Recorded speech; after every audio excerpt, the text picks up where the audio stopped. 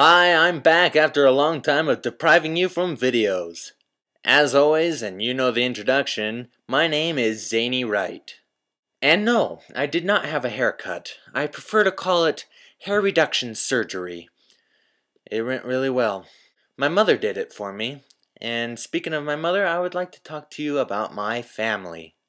I love my family. I really do. But there are just some times that they really drive me crazy. You see, my brother's an ass, my mom's a nut, I'm a boob, and my dad's a dick. Can you sense a theme here? But seriously, my father. I don't really call them my mom and dad. I like to call them my mother and father. My father and I are quite a lot alike. And that actually kind of bugs me. We're both a couple of boobs and dicks, lying around being assholes about people. I'm a dick. Ow. You brought it on yourself when you walked through that door. I'm a dick. Ow. I'm mighty feisty there when it comes to your mom and I say bow bow bow bow bow bow bow but I don't want to be like my father. My father, up to this day, I still don't know why he did this. But he showed me how lazy he really is. He isn't lazy right now, he's more like crampy and achy. But he was way back in the day. It was long ago, back when I was a little boy. And you're thinking, how little? I was a little boy when I wanted to play a game.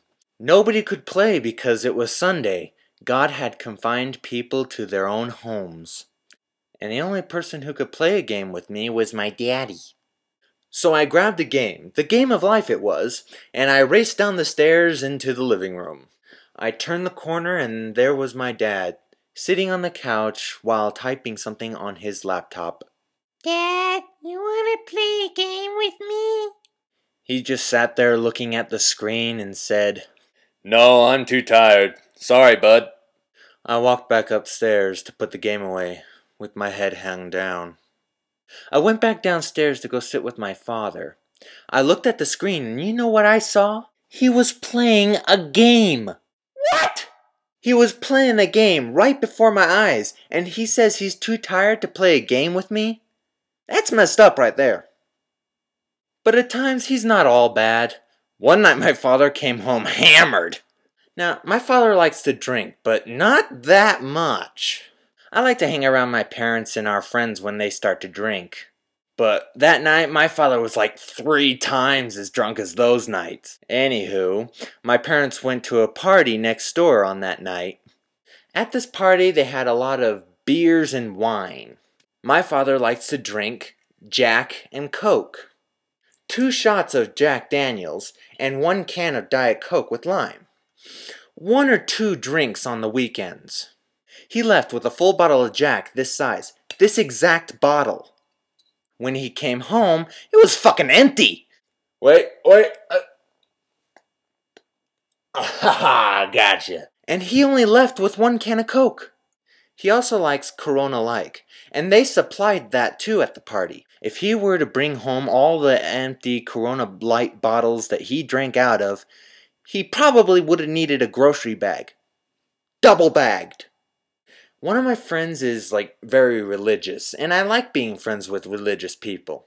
You see, I'm an atheist, and being friends with other atheists is not always a good thing, sometimes a bad influence. So I like to be friends with a few Mormons. Once I get past your extreme happiness.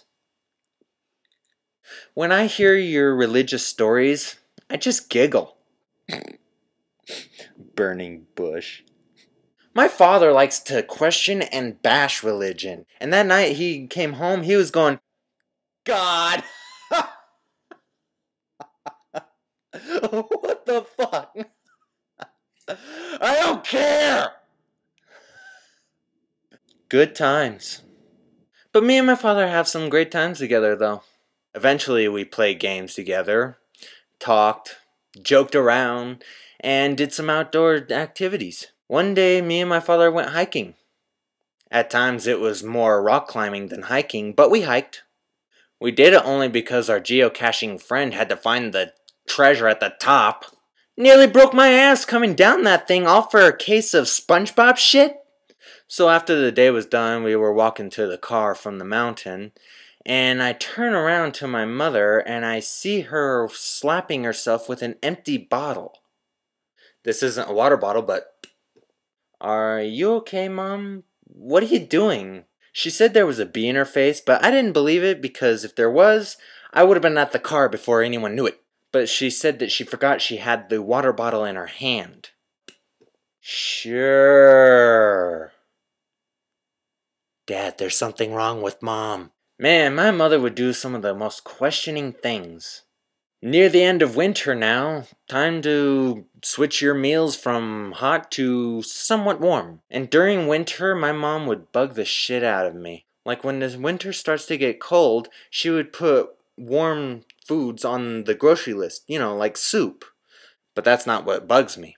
Every week, like once a week, there would be this one soup and if you go back to my vacation time video, you'll hear me talking about eating the same meals every day, the whole week.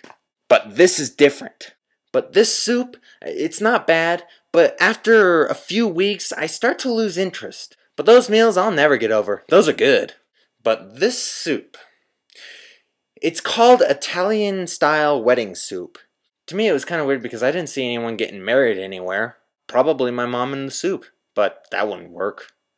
There was spinach, mini meatballs, chicken broth, and these little tiny bean thingies.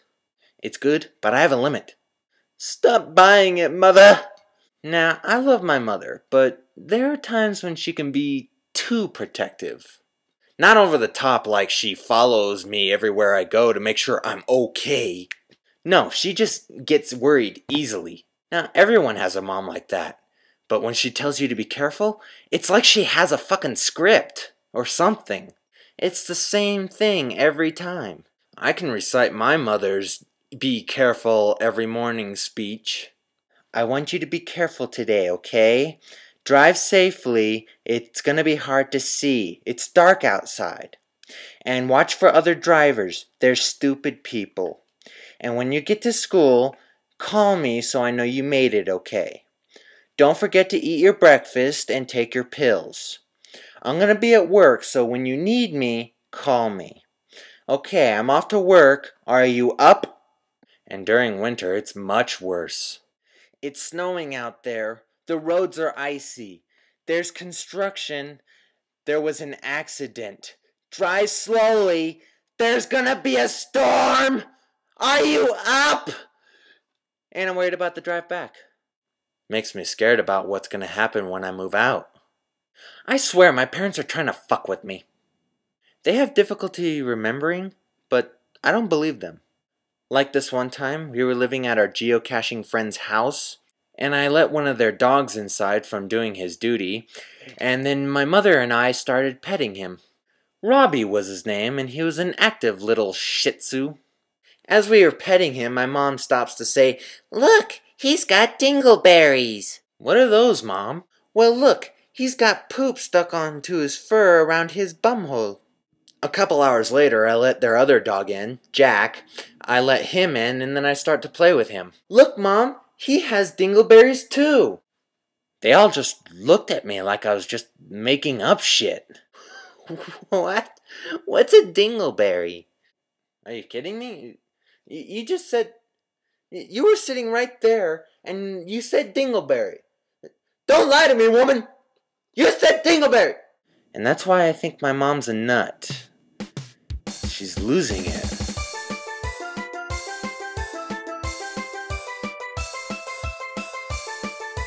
Oh, and don't forget.